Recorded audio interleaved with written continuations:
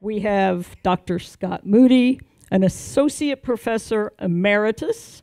He's technically retired now, for those of you that don't know what that means, um, but I'm pretty sure he's here all the time, like most of us. Um, he's going to be talking about Athens 240 years ago, a natural history. He's from biological science. Welcome, Scott.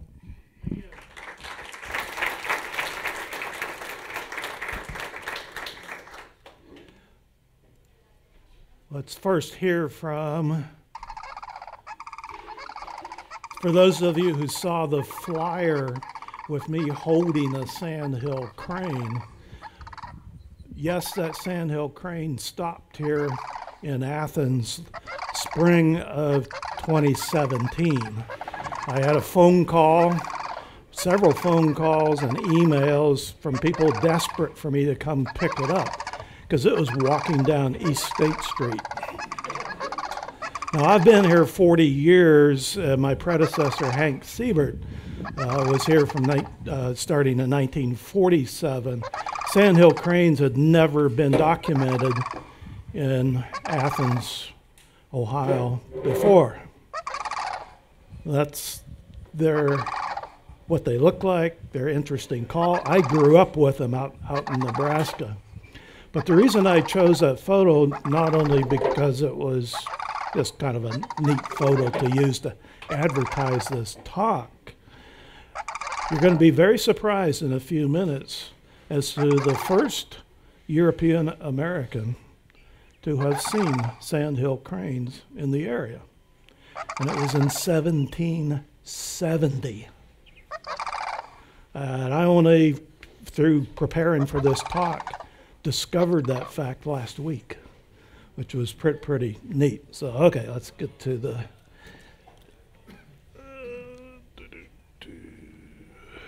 Gotta shut it down.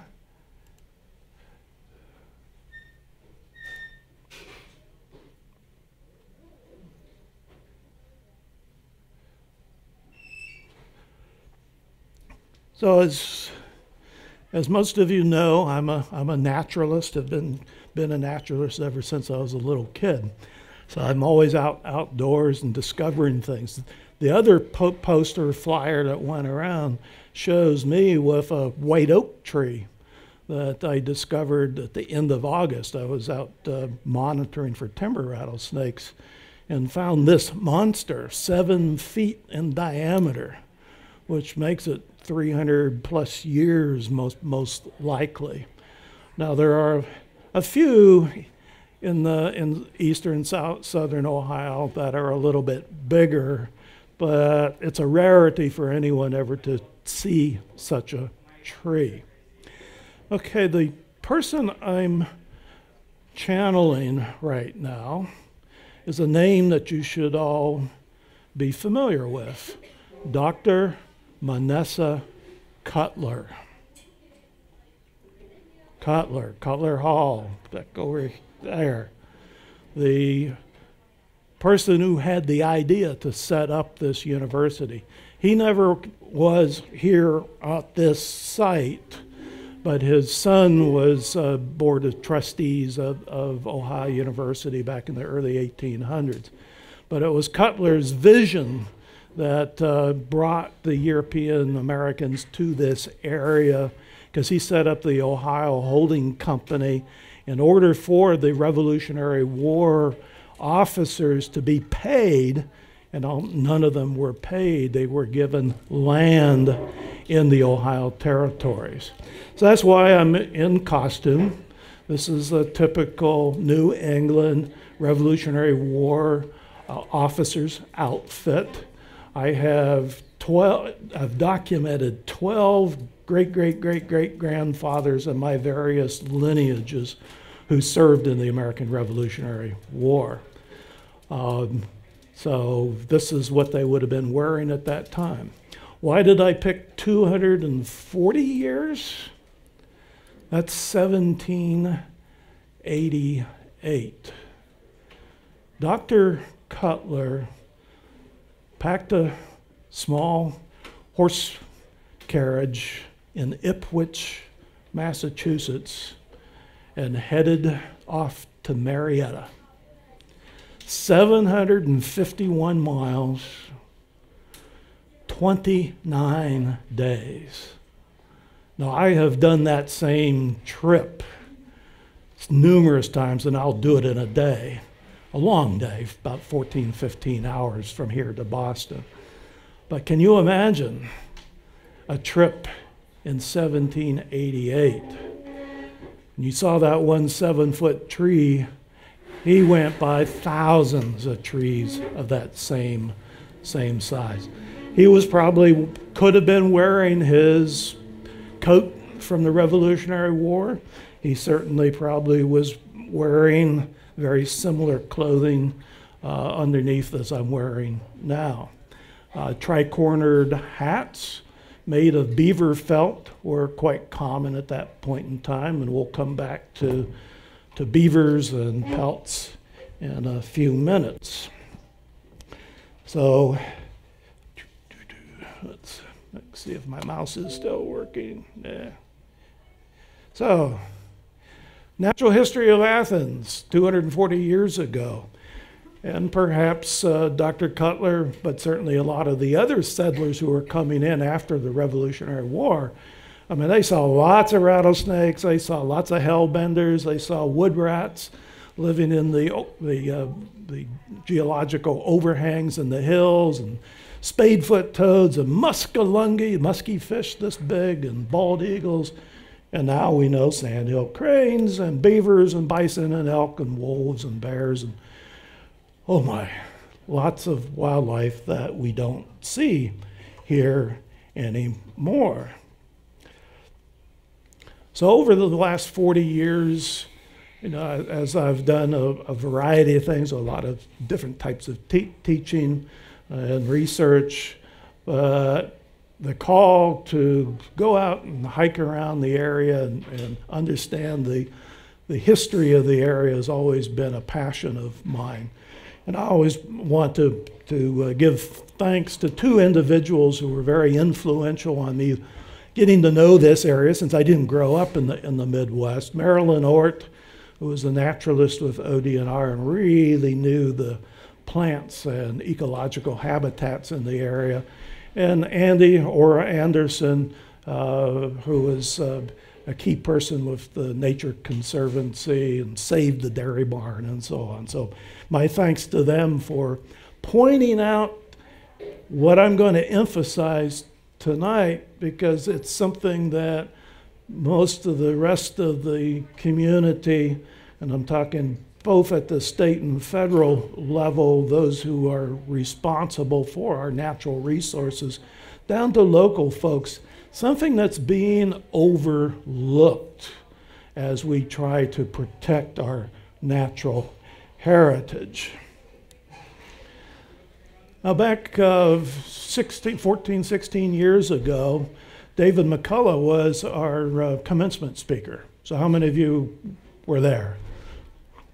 Testing the old faculty here. I was there. Uh, and the reason why uh, McCullough was asked to give the commencement talk was because he had just uh, published the Wright brothers. And so he had been in Ohio quite a bit and got to know quite a bit about the uh, Ohio history. But he's also well known for writing 1776, the first year of the American Revolution, and then a few years later, uh, wrote, wrote uh, John Adams. If you really want to understand the beginning of, of our country, the United States of America, John Adams is, is a must book to read. But McCullough himself has said that with all his research, bringing him into Ohio, using the archives over in Alden Library, using the archives at Marietta College, because Marietta was, was the first of the, the settlements. He, it was only then that he began to realize the impact of the officers of the Revolutionary War and the setting up of the Northwest Territories the land that the United States obtained from defeating Great Britain at the end of the Revolutionary War. So all the states between the Ohio River and the Mississippi River. So we're talking about Wisconsin, Illinois, Indiana, Michigan, Ohio. as part of the Northwest ter- Territory.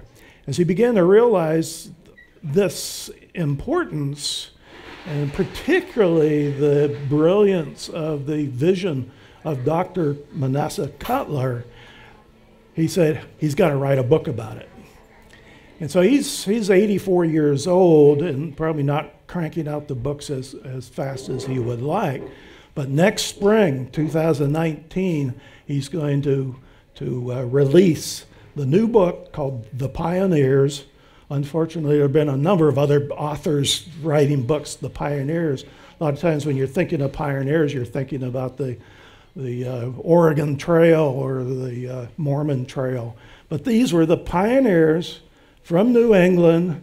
The officers, many of them were uh, Ivy League college educated, Harvard, Dartmouth, uh, Yale, Brown, Princeton, uprooting from their homes in New England and traveling to Marietta and Athens and so on.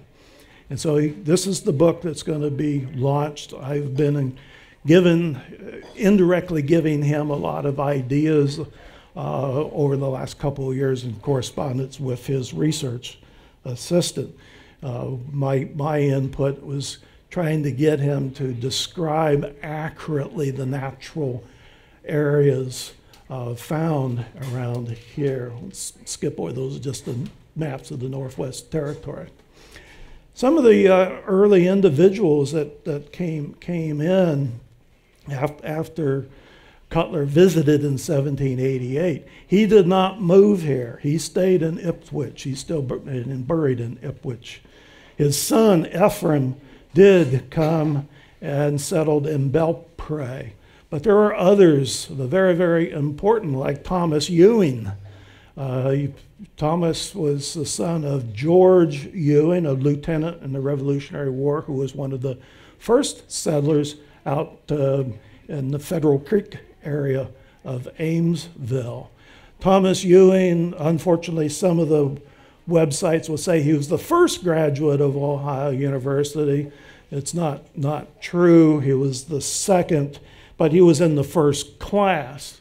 Uh, but the, in terms of numbering them, the person with the better grades got to be number one. He had the second best grades. So, uh, so if you ever see that, Thomas Ewing was first graduate. No, he was second graduate.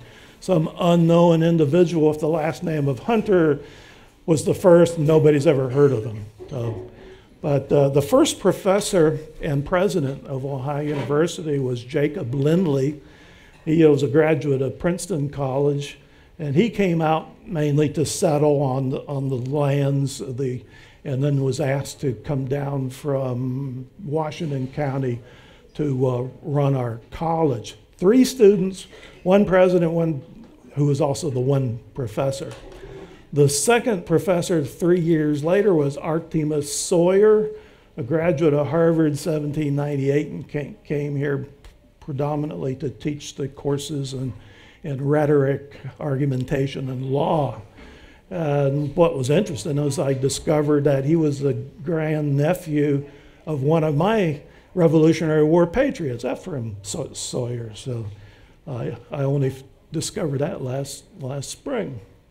So here's, here's Manasseh Cutler's um, a, a uh, oil painting of him, who was the, the initiator, the, the brains behind the whole op operation.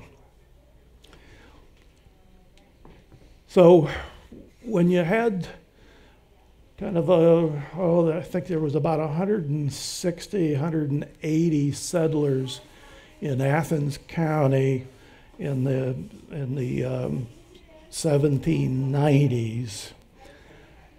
The university had, wasn't yet founded. It was organized uh, in 1804. But remember, a lot, many of these individuals were highly educated from these colleges in New England. And they definitely wanted books to read. There was no library, there was no, no public library, no university. And they organized the first circulating library in Ohio by pooling resources. Now, they didn't have money, currency was a rare sort of thing, but they all decided we'll all go hunting and trapping, and we're going to sell the pelts and buy books.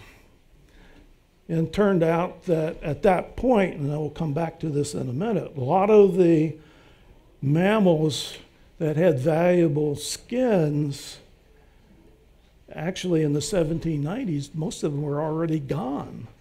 The trapping uh, in the before the French and Indian War was so intense that bears and wolves and, be- and beaver were pretty much absent.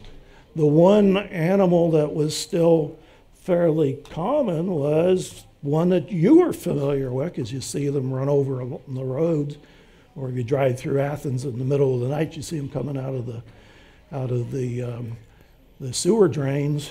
But the raccoon. So they accumulated uh, several hundred pelts, a few bear, some deer, uh, but mostly raccoon. But who would buy raccoon pelts around here? You'd go get your own raccoon pelt. But they were of value further east. So one of the first settlers, Captain Brown, uh, Benjamin Brown, uh, his son Samuel packed all the furs up into a wagon.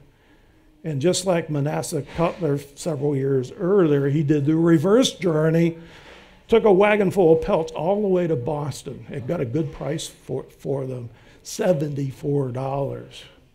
But that was enough to buy uh, about a, an equivalent number of books and encyclopedias. And that library is still out in Amesville, the Coonskin Library. It's at the, uh, located at the elementary school. Um, so we're talking about very well educated individuals, a desire for uh, setting up a, a place of, of education. Okay, let's switch gears a little bit. Um, just, just imagine we're out outdoors, we're walking through the forest, we're walking through marshes, and, and so on. Most people are only paying attention to what they see, but are you really seeing everything? If you're a bird watcher, yeah, you got to see the bird, but most bird watchers identify birds by listening. You listen for, for them. Hearing is very important. But how many of you have actually gotten down on your hands and knees and crawled for a half mile through a woods or a swamp and get, get to know things up close and really appreciate the smells and tastes and all the um, the amazing little, little things. Most of you, since you're coming to this talk, probably do enjoy going out in, in nature and outdoors and hiking the trails at Zaleski, uh, Dow, um, Stroud's Run, Dow, Dow Lake, and so on. And, and you enjoy seeing the tr- trees and but is that what Manasseh Cutler saw 240 years ago. And unfortunately, not. Um, so, you know, imagine right now, close your eyes and imagine it's 1788. What are you going to see? What are you going to hear? What are you going to smell? What critters are you going to be always wanting to look over your shoulder, make sure you're uh, not going to become a meal or, or something? Um, so things were quite a bit different. And what Manasseh Cutler saw as he came across Pennsylvania, uh, put his um, his uh, uh, sulky on a on a flat bottom boat and floated down from Pittsburgh to Mar- Marietta. He saw huge trees like like the tree that I uh, met mentioned earlier. So several years ago, Gene Bax uh, edited Ohio's Wild History and made the point that frontier Ohio's blend of habitats where the primeval forest, all these big trees, mingled with patches of grassland that foretold of the vast prairies to the west. And the western half of Ohio has a lot of these remnant prairies, which is excellent far- farmland even today. The wealth of the rivers and streams framed by the great freshwater lake and beautiful river provided even more natural treasure. The early people coming in especially noted crossing the rivers, like the Muskingum River from Marietta up through uh, Zanesville, New Concord, Newark. The Muskingum River teemed with monster muskellunges, the musky fish, 40 pound fish that, uh, that you could see throughout. Uh, and most importantly, and what most people never think about around here, when you're walking the, along the Hocking River, how many of you have found big, huge clam shells? A few. Most people will say, well, what, why is there a clam shell here? Most people associate clams with the ocean. Well, it turns out that the Midwest is uh, a, has an incredible biodiversity of freshwater clams. The native, the Native Americans relied heavily on these freshwater clams. We're talking about big, big. I mean, one of these would make a nice meal for an individual. And so the early, early pioneers also realized that uh, this, this was a, a good source of food. And when you handle it, it it's, it's like, like pearl, it's very hard shell. Uh, and unfortunately, I think I'm going to replace my buttons because I keep popping buttons off my vest. Uh, I found recently a box full of buttons made out of freshwater clams. So probably to be more realistic, I need to replace replace my buttons. So next time you're walking down, I mean they're they're up up and down. The diversity here in Ohio is, is, is great. And there's there's a picture of a very large mu- muskie. Another uh, group of animals that that were quite noticeable for the early pioneers that came in here particularly in the late winter and spring and summer, would be the constant din, symphony, just loud environment of frogs and toads calling. We still have them today, but can you imagine back then when the forest hadn't yet been cut down and the rivers hadn't been channelized and carrying a heavy load of silt and other toxic chem- chemicals? uh, amphibians had to have been an incredibly dominant organism. So at the end, after I'm done talking, we've got a variety of, of frogs and salamanders that you can look for in here. The first person to actually have written about the natural history of this area was a Moravian. This is a, a he was German, but in a part of what's now Czechia or the Czech Republic, part that's known as Moravia, but that was a major German settlement in the 1600s, 1700s. But the Moravians were, were, uh, had adopted a, uh, a, form of Protestantism, not, not exactly Lutheranism, but they also, many of them moved to, the, to Pennsylvania uh, to practice their their particular religious interpretations. And several of them came to Ohio in the 1760s to uh, provide uh, missionary work to the Indians, na- Native Americans.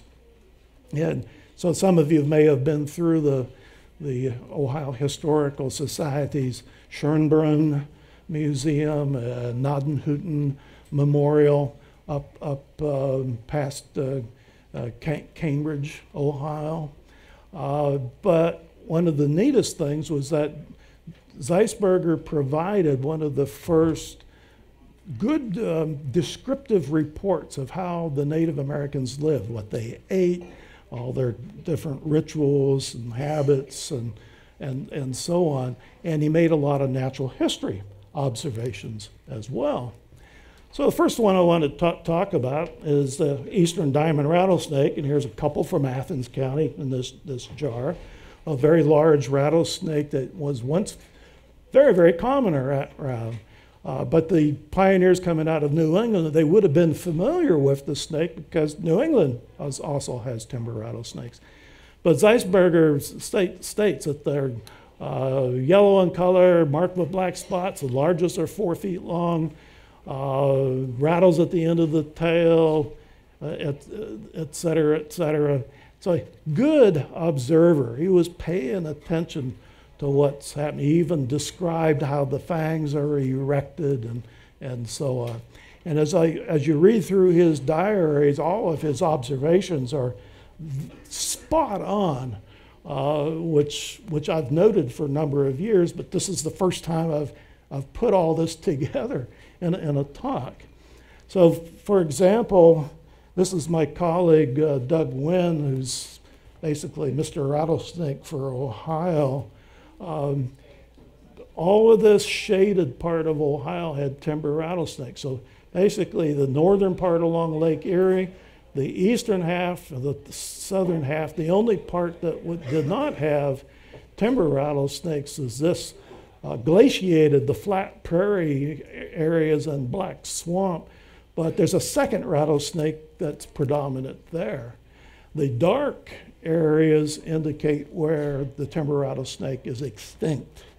So today there's only just a, a pocket full of, or several pockets of population found, including, including a, a, few here in a- Athens County. So as the woods were chopped down, uh, farmland uh, was initiated, and people were afraid of this large snake, and so there'd be rattlesnake roundups to kill off the rat- rattlesnakes, which is unfortunate. It's not that dangerous of a snake if you know their know their behavior. Yeah. In order what? to give some context, what was the last record reported for rattlesnake seen in Athens? Do you remember that? What, what was the last rattlesnake reported in Athens? Uh, 19 it's either 88 or 89 because I saw them. Yeah. But they're still here. Uh, we've got a small population within half mile of the Athens border. Uh, just to let, let you know, those of you travel US 33, take the Nelsonville bypass, and you look over and see this little fine bent over fence and so, well, what's that fence for? That's awfully short. Deer can just jump right over that. Well, yeah, that fence isn't for the deer, it's for the rattlesnakes to keep them into the, in the woods instead of going onto the highway. So, another, another uh, animal that was reported by one of, one of the other Moravians, Heckewelder, was traveling up the Muskingum River, uh, moving some of the Indian settlers. So it was April 25th, 1773. And so they, they stopped along the Muskingum River. So this is about halfway between Marietta and um, McConnelsville in Morgan County. And so they camp and they provide enough of uh, description in the diary that we can actually go in and know exactly where they were at. Well, note what, what he says here. This night we did not find much rest because of the vast number of toads. Now, that's a translation from the German. And he did say Kroten, which is German for toads, which greatly annoyed us. The Lenape Indians, a Delaware tribe, called this place, and I don't know how they would say that, but the Indians themselves called it the town of the toads. And about midnight, we had a terrible thunderstorm accompanied by heavy rain, and these toads swept out and were coming through the campground and so on. Well, this individual this was, he wrote this up in 1952 and went to uh, the state zoologist, the Ohio State zoologist, and they determined that these were spring peepers. Uh, most of you know the little little spring peeper, beep beep beep beep. Um, that would not be a sound that would greatly annoy because it's quite musical. Plus, it's also April 25th, and most spring peepers are their big choruses are into February, Mar- March, maybe early April. But as I was looking at this paper a couple of weeks ago, and, and wh- where they had camped, right here is a, you can see the Muskingum River making a big turn here. Anytime a river turns, and you can walk down, walk along the Hocking River, and you see where it makes a turn. On the inside of a turn, it will drop lots of sand and gravel. And actually, even today, there's a huge gravel sand pit right, right there. And this was an area that I had predicted should have spadefoot toads. And I actually verified that in 2002. So, what these Moravian missionaries and their Indians had found was what we now, it's the only frog toad in Ohio that, that is, that is uh, in, endangered. And when, it, when you have a big heavy rain, they all come out of the, the woods and they just stream down to the floodplain area. And uh, that's, that's where they're going to breed. And if we've got enough time, let me play their call. Come on. Next. Well, it's not going to go. At, at the end, I'll pull up the call, but it's it is very, very loud and it is uh, rather disturbing. So, because of their ideal description, natural history description, we now really know what's, what's going on. So, we're going to go through a big, big transition. As, uh, the trappers, fur trappers had been in the area well before the Revolutionary War. The Native Americans were trapping extensively to trade pelts to get black powder and musket rifles and steel uh, axes from uh, trade with the British and the, the French. So 1750 to 1800 is a big transition period in terms of the habitats and the, the uh, various animals uh, occupying here. So most of Ohio is covered by forest. A lot of the natural history descriptions focuses on forest, but you also have to realize that low, uh, low-lying areas along rivers and lakes are going to be filled with marshes and swamps, and wet and tall grass prairies wild plum prairies, up Bowling Green, get the flat Bowling Green area, areas. So, but then you get into eastern and southern Ohio, which is unglaciated uh, and very hilly. You're going to get a mixture of chestnuts and oaks. And, uh, but along the rivers, these riverine corridors, and pre glacial river distribution, the Teays River left behind big broad valleys where there's no river today, but it's still flat and very, very wet. This was the area that the Native Americans had been utilizing for two, three thousand years in maintaining the, the uh, grassland prairie by burning it. And that would regenerate good grass so that they would have plenty of, big game to hunt. And we're not talking about just white-tailed deer that we see, see today. I mean, that's a fairly large buck. What was common, right, even here in the Hocking River Valley, this is just one antler of an elk. An elk is a, is a relative of the deer, but many times larger. So one elk is going to be provide enough meat for uh, supplying a, a family. You think of the American bison as being uh, a denizen of the, the Great Plains out west. Uh, yes, there were millions more out there, but Ohio had thousands of bison, and they were right here in the Hocking River Valley as well.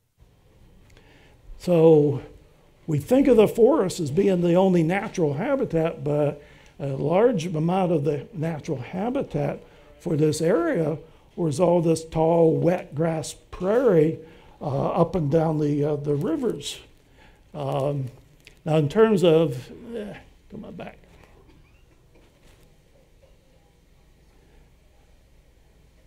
In terms of any woodland that's close to being virginal, I pulled up uh, several that's within driving distance around. Dysart Woods, which Ohio University maintains, is two hours away up in Belmont. Uh, Morgan Sisters Woods is down in Gallia County.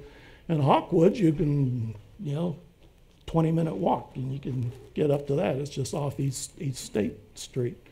And then there's a few other nice little. So if you go to one of these old growth uh, forests, one of the things you'll notice is not only just big trees, and, you, and usually the absence of invasive uh, plants that you don't want in there, but when you get a chance to visit, go walking through and kind of bounce up and down on the soils.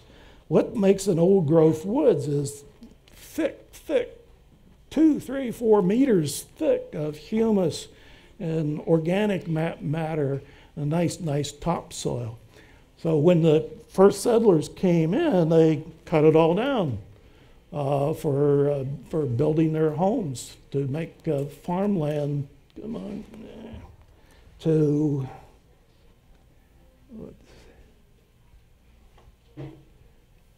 come on there.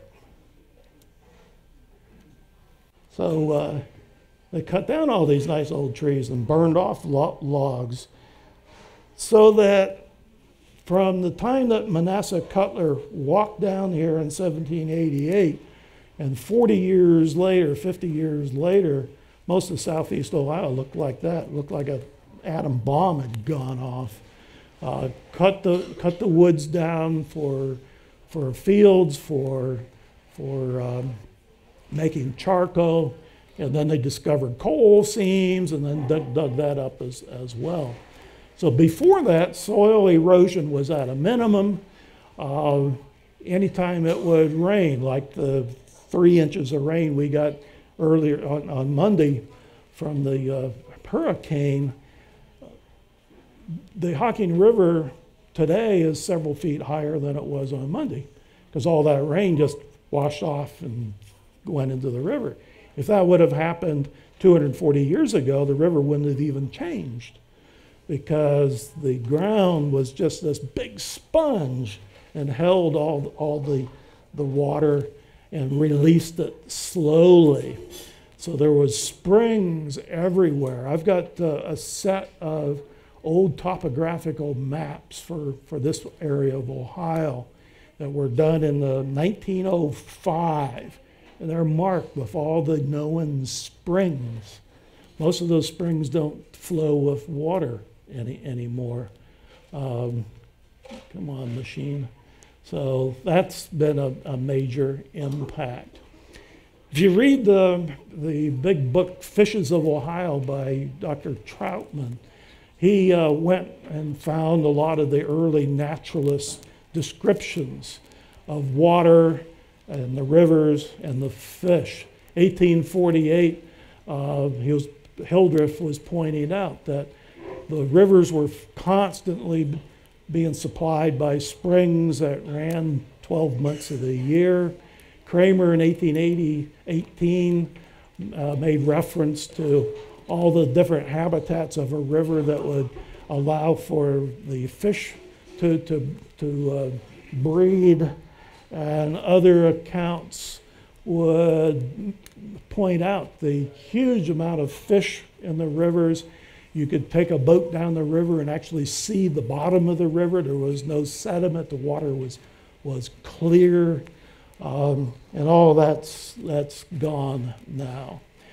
So here, I'm not sure why that's Here's another observation by Zeisberger. How many have ever seen a Cryptobranchus alleganiensis, a hellbender? This I have argued for years should be the, the real mascot of Ohio University, not the bobcat, because it's North America's largest salamander. And it's beautiful. And they used to be common in the Hocking River. And right now it's, it's uh, heavily uh, endangered. We've got some, uh, some uh, projects at several zoos that the Ohio University students have been involved with in reintroducing, head starting juveniles and reintroducing them into creeks that are still clean, clean enough, but the silt. So we, we had, if you go down to the rocks at, at uh, White's Mill, that's where they had been collected 100, 100 years ago, 50 year, years ago. And look what uh, Zeisberger says. A variety of fish resembles a small catfish, but has, has legs. Uh, you know, ob- obviously not. Okay, uh, let me scroll through things that uh, will be of interest to you. Got to answer the question on the Sandhill crane. 1770, did you know that George Washington visited Athens County? Up and down the, up and down the Ohio River surveying. How many of you wondered why Baker Center downstairs, there's a latitude 39 and a, and a west uh, 82 food court? Why those particular numbers? Well, look at our latitude longitude coordinates. George Washington had worked all that out. And so we have records of where he camped along the Ohio River and, and next to the Hocking River and the Little Hocking River. But what I found a couple of weeks ago was this interesting note in his diary. October 30th, he explored Kanawha River, about 10 miles upriver from the Ohio, so that's up, up into West Virginia from uh, Gallipolis. Went hunting, killed three buffalo and three deer. This country abounds in buffalo and wild game of all kinds. Saw birds in size between a goose and a swan. The cry of these was as unusual as the bird itself. So it's the bird I played at the beginning. He would have been familiar from eastern Virginia of any large bird turkeys, hawks, eagles, water birds. He would not have known anything about sandhill cranes. And so it's quite clear that he was seeing sandhill cranes.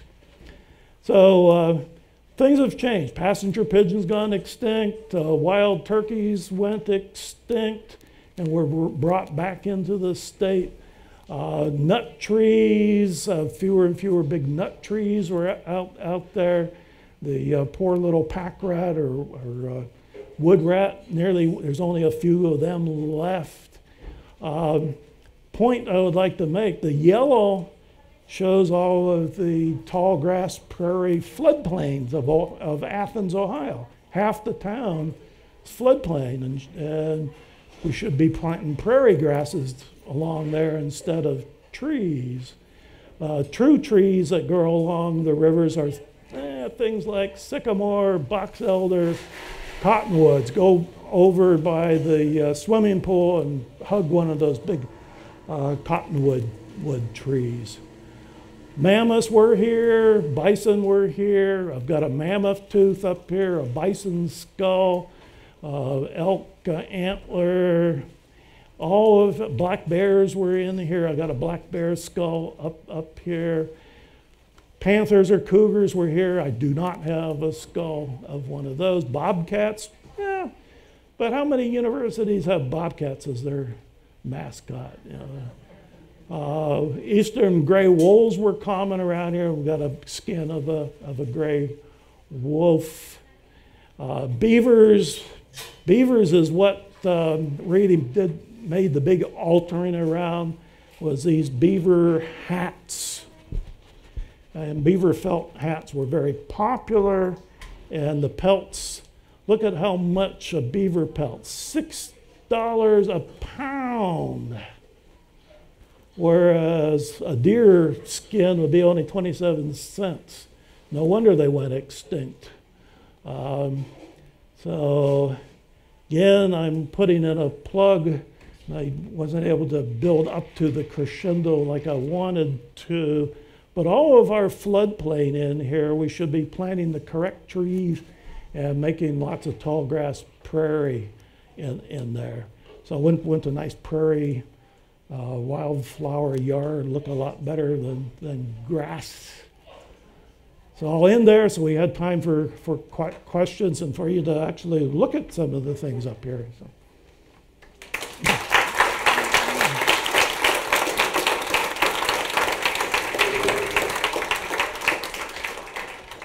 Do we have questions? One right here, Scott.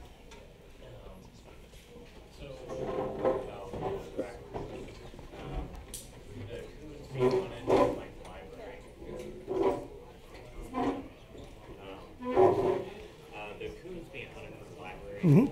why are those still so abundant where a lot of the other like fur animals have been gone? The, the question was, was why the raccoons have uh, remained abundant up, up to this point, point in time, whereas the, all the other large predators, the panther, the, the bears, um, uh, bobcats, went out. Two, two reasons. One, one is body size.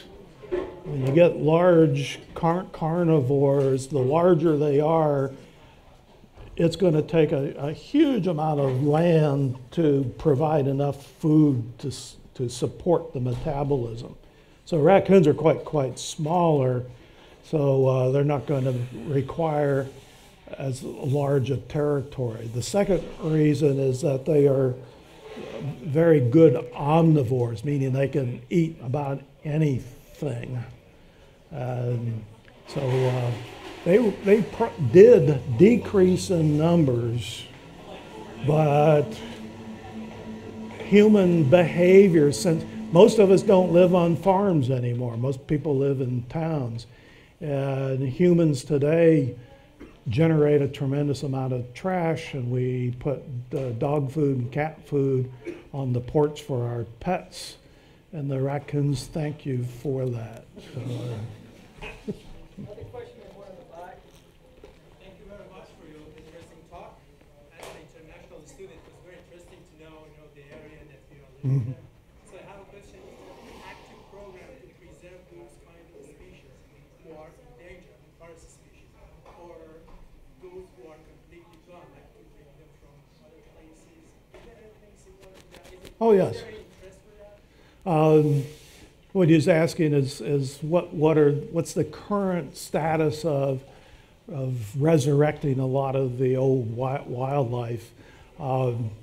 so the Division of Wildlife through Ohio Department of Natural Resources has, has been very active in this since the uh, late 70s and early 80s. I served on the advisory committee for eight years uh, at that point in time.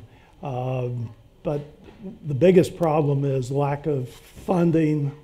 Um, there's uh, tension between uh, the com- commercial interests for logging, for even trapping of bobcats, which was a, a, uh serious consideration uh, by the wildlife people until a massive underswell of opposition, especially from the Athens area, defeated that. Um, but let, let me count the success stories. When I uh, first moved to Ohio in 1979, there was only, I think, 14 or 15 bald eagles in the entire state. And now they number in uh, upper hundreds. I've lost count, but they're they're nesting in almost all all the counties. Peregrine falcons have been brought back. Bears have, have started to come back in naturally from West Virginia, Kentucky, and Pennsylvania. So uh, that has not been an active reintroduction. River otters were completely trapped out for over 100 years, and they were brought in in the early 80s and are found throughout the state. So quite a, quite a, Yeah, another example, deer. Establish?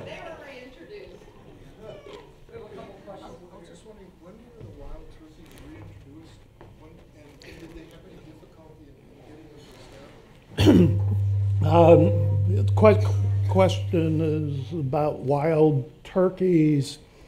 Uh, turkeys were hunted out. Uh, the loss of the chestnut trees due to a, blight that happened in the 1904 and spread throughout, killed all the trees, really kind of was the coup de grace of wiping out wild turkeys.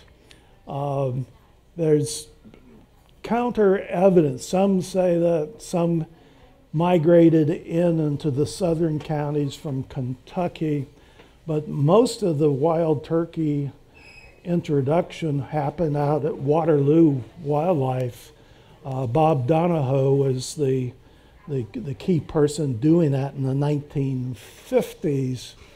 And so they, he would cap, would raise them in cages and then release them in different areas, but they, they weren't as successful as going to another state. And they went to places like Arkansas and Oklahoma and trapped adults and brought them in. So a combination of all that, they eventually came back. Uh, two questions. Uh, so what is this current status of the bobcat? Is it threatened, endangered, or extinct? And question number two, towards the end of your talk, you were zipping through the slides, and one said Menards. Was that gonna be a good thing or a bad thing? Um, let's answer that one, one first. The, um, go all the way down East State Street. There used to be a, uh, the, the que- question was, what, why did I have a slide about Menards?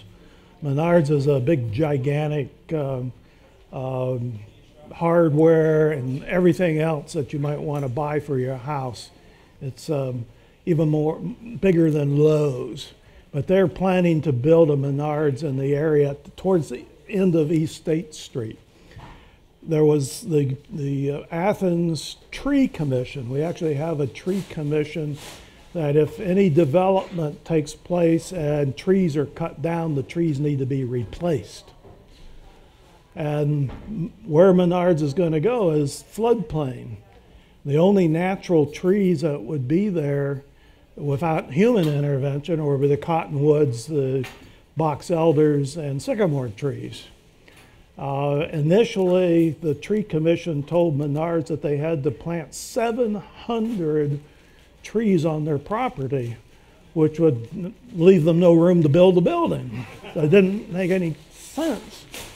And when I read that a, a year or two ago, I, I was just kind of steaming and said, plant prairie grasses, prairie grasses down there and make it more, more natural.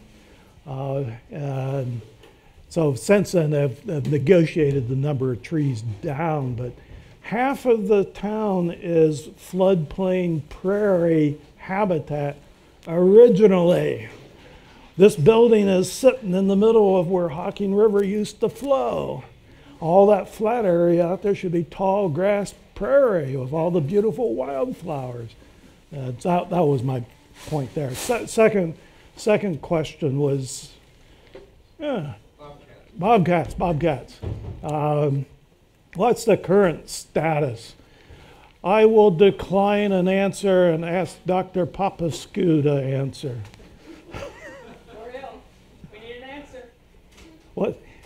Did, did the state officially lower it from endangered to threatened, or have they not dare do that?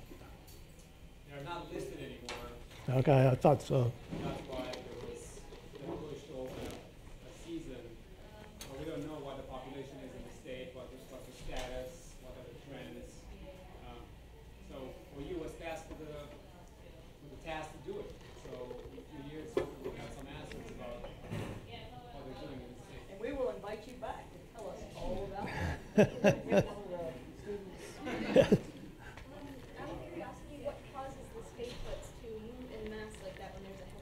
Oh, quite question is why, why the spade foots, why so many of them are moving all at once? Uh, the, the proper type of habitat that they live in is are sandy gravel terraces. And that's, that's a fairly rare habitat to be found. So the populations are concentrated. And they, I mean, the, the numbers can be staggering. It's amazing. I've, I've, I've been on the Muskingum River watching them just kind of pouring out of the woods, going down to one of these temporary pools. They don't, they don't breed in bodies of water that will remain uh, with water for more than two weeks. so it's not permanent lakes or ponds. They don't live there. They're out competed by other frogs. Um, but yeah, there's very, very dense pop populations. When, but they only breed maybe once every three, four years because it requires flood conditions. And then they all come out. Last formal question? Scott, up on the ridges, uh, in the spring, I noticed that most we see these vultures. Um, I don't know what kind they are, but the question is, what are they? They're beautiful, actually. And then, were they back in uh, seventeen eighty? Yes. Um, question is about how, how many of you have seen these big black birds down along along the riverbanks, soaring over Athens? Uh, we've got two species here. One's a turkey vulture, and doesn't look anything like a turkey. It's got a reddish head, and the other one is a black vulture. Uh, we've kept very good records of both species in the area dating back to 1947. And turkey vultures are always here. They're here in the summer, they're here in the winter. Uh, they particularly like Athens because if you look at the map, Athens is on this north south ridge. The Hocking River makes a perfect uh, 180 degree turn around the peninsula of Athens.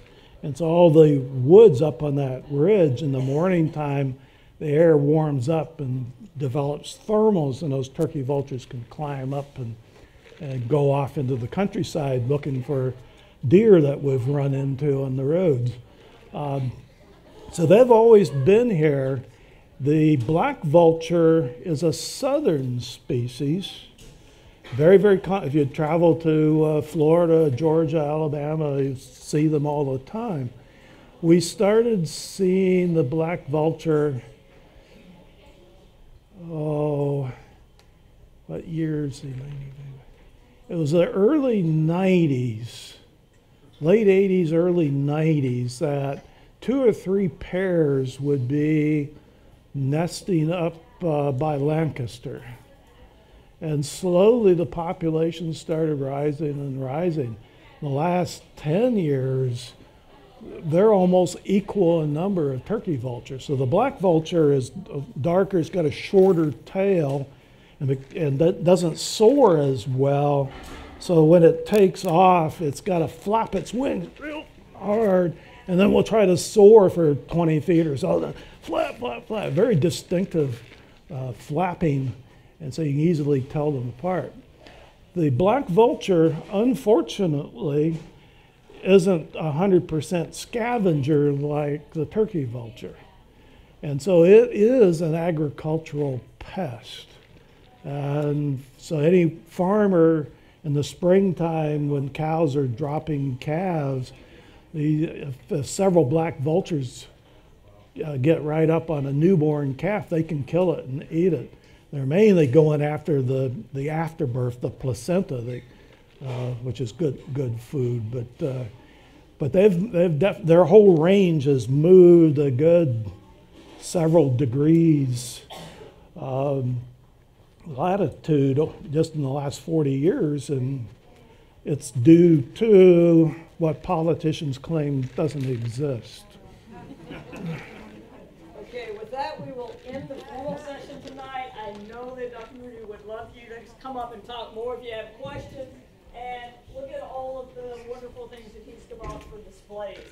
Next week is a cafe conversation, two weeks another science cafe, but let's give Dr. Moody a round.